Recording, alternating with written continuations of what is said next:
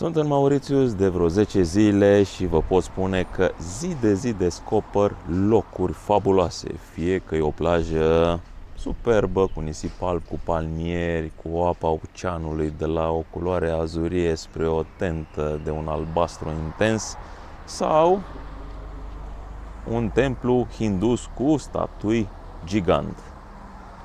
Și în acest clip, la fel ca și în celelalte din seria Mauritius, veți vedea la fel plaje superbe și locuri interesante. Vizionare plăcută să înceapă acest video. Păi jamais bénédiction, prospérité, bénédiction pour l'honneur. Ça va, venez. moi.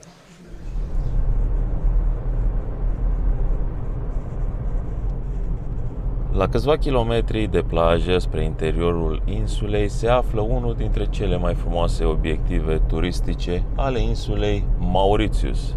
Acest obiectiv turistic se află în interiorul unui parc natural, iar zona se numește Grand Bazin. Acest obiectiv turistic important este un templu, un templu hindus, se numește Ganga Talo.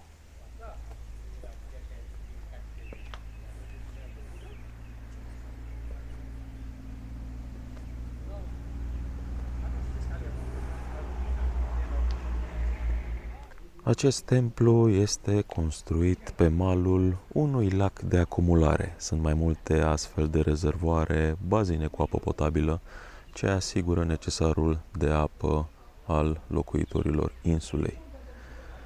Acest lac este considerat un lac sacru, un lac sfânt.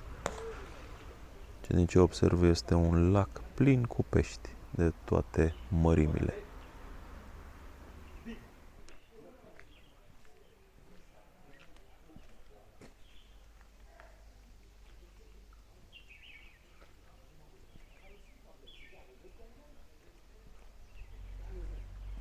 Nu știu care este o rânduială într-un templu hindus, însă observ că sunt mai multe construcții, gen capele, unde în interior se află câte o statuie diferită. Acolo este o altă statuie pusă într-o capelă și credincioșii vin să se roage la aceste statui.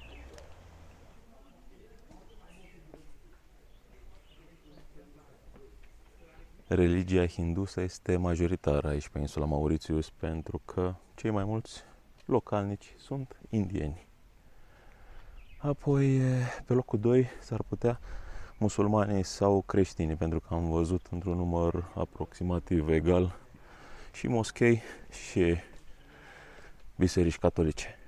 Uh, am urcat ceva. Uh. Din păcate nu știu mai nimic despre religia hindusă, nu că n-aș fi o persoană curioasă, ci pur și simplu nu m-am intersectat cu, cu ea. De exemplu, știu multe informații despre religia musulmană. Am vizitat multe, multe moschei în viața asta și am aflat lucruri despre religia musulmană, dar despre religia hindusă, din păcate, nu știu mai nimic.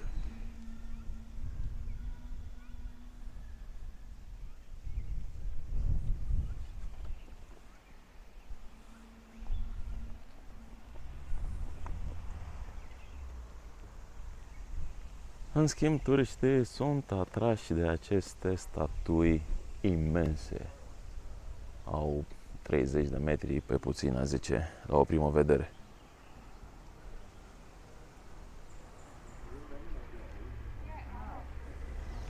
O altă statuie gigant a unei zeități din religia hindusă. De data asta avem un leu și este o doamnă cu patru mâini. Clar trebuie să citesc și eu mai multe despre această religie, măcar la nivel de curiozitate.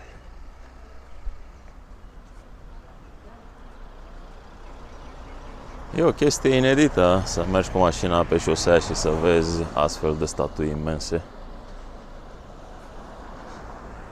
Aici este un loc special pentru a oferi ofrande.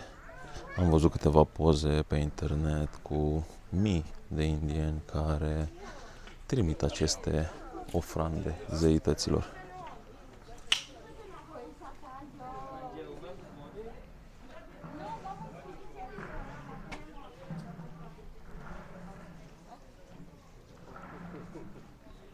O statuetă cu data treia, simbolul Sfintei Treimi în religia hindusă. Brahma, Vishnu și Shiva.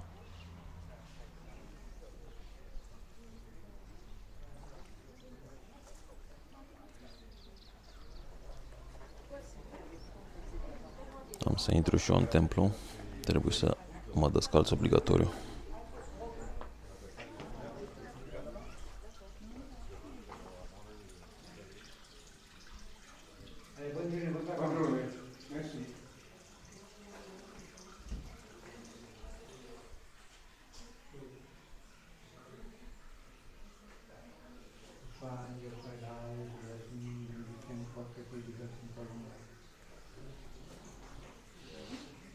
Păi mei, benedicțiu, poți pe tine, bine să fii cu Domnul. Să va, veni, mă.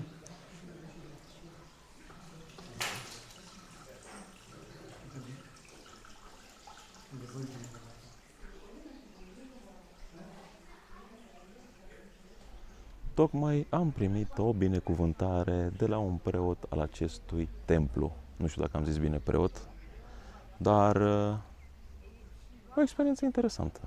De ce nu?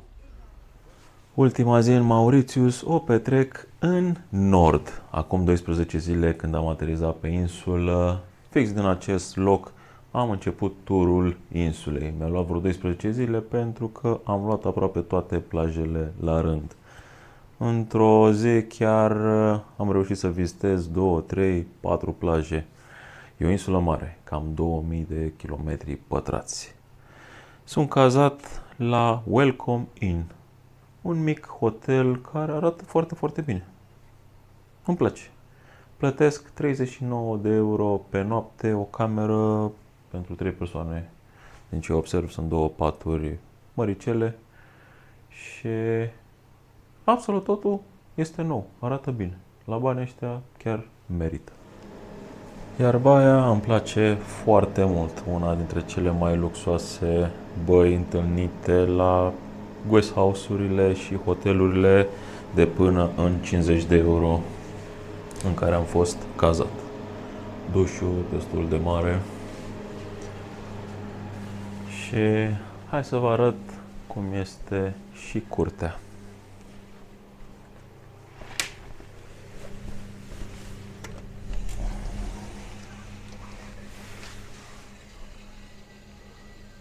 Curtea interioară la comun cu acces la piscină, dușuri și fiecare cameră are o masă cu două scaune pentru la micul dejun, prânzul sau cina. Neața, am plecat dis de dimineață de la cazare pentru că am un drum destul de lung de făcut până la aeroport. Am fost cazat în zona de nord a insulei, iar aeroportul este în partea de sud. Principalul drum care străbate această insulă are undeva la vreo 75 de kilometri. Practic taie insula de la nord la sud pe din două și este destul de aglomerat. Am ajuns în aeroport peste două ore în zbor către insula Reunion. Durata zborului cred că maxim 50 de minute, nu ai timp nici măcar să stai confortabil pe scaun. Dacă călătoriți mult, des, vă dau un sfat. Încercați să faceți rost de un pas, de un abonament de intrare la lounge pentru că ieșiți mult, mult mai ieftin. Mâncarea, băutura în aeroport costă de 4-5 ori mai mult decât face. Și aici la lounge aveți acces la absolut tot ce doriți. Și la alcool, și la băuturi, și la mâncare. Ba mai mult stați confortabil, nu vă duceți buluc la poartă să stați acolo să vă înghesuiți cu ceilalți turiști. Costă câteva sute de lei, dar credeți-mă, merită. Vă scoateți banii imediat. Asta dacă faceți cel puțin vreo 10 zboruri pe an. Deci dacă ai mai mult de 10 zboruri pe an, ia un pas la lounge. Mi-am luat și eu ceva de gustare. De fapt, haideți să vă arăt cam ce găsiți într-un lounge. La bar am la discreție vin, bere, vodka, rom și coniac, sucuri carbogazoase, tot felul de salate de crudități, salată de ton, salată Cezar, mezeluri, brânzeturi, fructe, bineînțeles produse de patiserie. În mare cam asta este și Nespresso la discreție. Nu mai zic de ceai, cafea normală și alte preparate. Iar băile sunt impecabile și au cabine de duș curate, spații pentru a te schimba. Totul curat. Un lucru ideal pentru cei care au zboruri lungi sau cu escală. Terminalul internațional este nou construit și arată foarte bine. Poarta numărul 25 de aici voi pleca și se pare că deja are întârziere 20 de minute.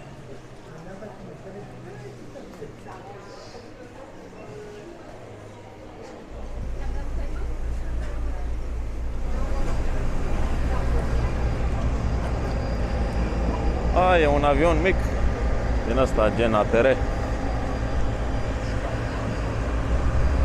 De fapt era și normal, dacă zborul durează doar 50 de minute, să fie un avion mic, altfel nu rentează pe distanțe așa scurte. Première rangée, s'il vous plaît, à gauche. Un pic cam mic avionul ăsta.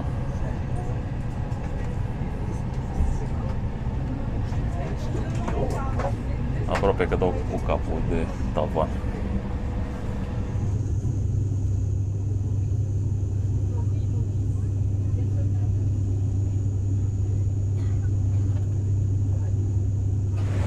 Am aterizat, însă vremea este urâtă, plouă destul de serios.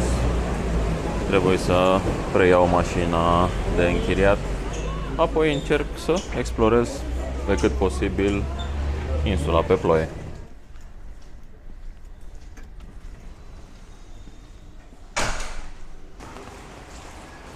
Un aeroport micuț la prima vedere și vechi, nemodernizat. Ori sunt mai multe terminale și eu am aterizat pe cel mai vechi dintre ele.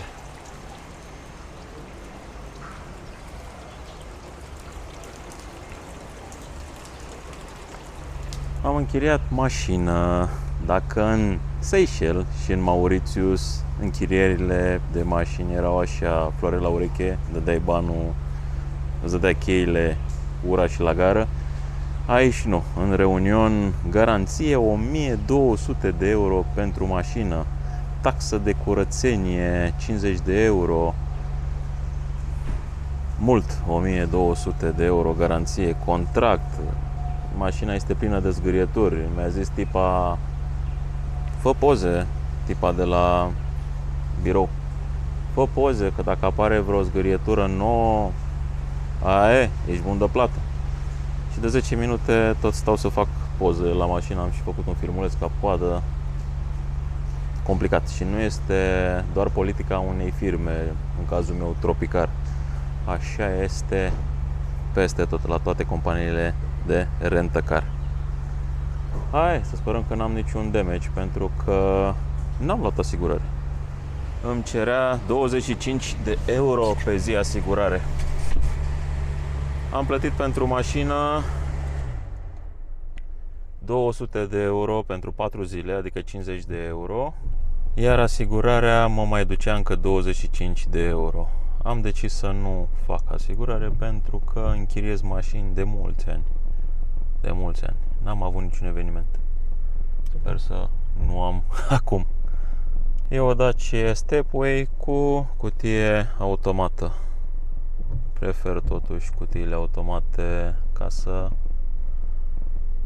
conduc un pic mai lejer. Da, mașina în interior arată bine.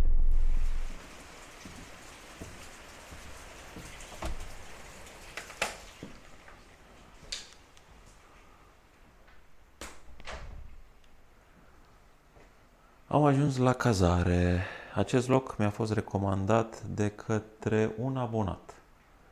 A aflat că ajung în reunion și mi-a zis, băi Mariane, ai grijă că aici pe insulă toate prețurile la cazare sunt imense, sunt mari de tot. N-am crezut, am căutat pe Booking, într-adevăr. Cel mai mediocru, cel mai simplu hotel e 100 de euro. Și a zis, unde stau eu aici în Reunion, proprietarul are mai multe apartamente și are unul liber. Nu vrei să vii aici? E 50 de euro pe noapte. Zic, ba da, logic. De la 100 de euro, care e cea mai ieftină cazare pe insula Reunion, la 50 e chiar uh, afacere. Televizor, o canapea, bucătărie complet utilată, dar eu nu o să gătesc, nu o să prepar absolut nimic. Ce mai e pe aici? Frigider, chiuvetă, logic. Aici este baia, cabina de duș.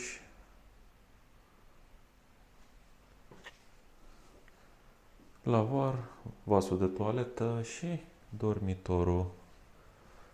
E o cazare simplă, dar e curată, e totul nou. Chiar dacă nu este de calitate mobilierul, este nou și asta e tot ceea ce contează.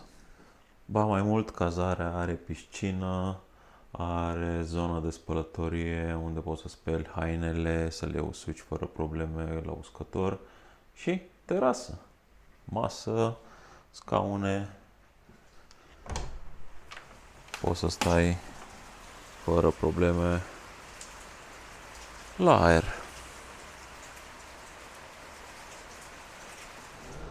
Acesta a fost clipul de azi, vă mulțumesc că v-ați uitat și nu uitați, cu cât mai multe like-uri acest video ajunge la mai multă lume, iar eu pentru asta chiar vă mulțumesc. De aici, din Reunion, până data viitoare, vă spun la revedere, v-am pupat!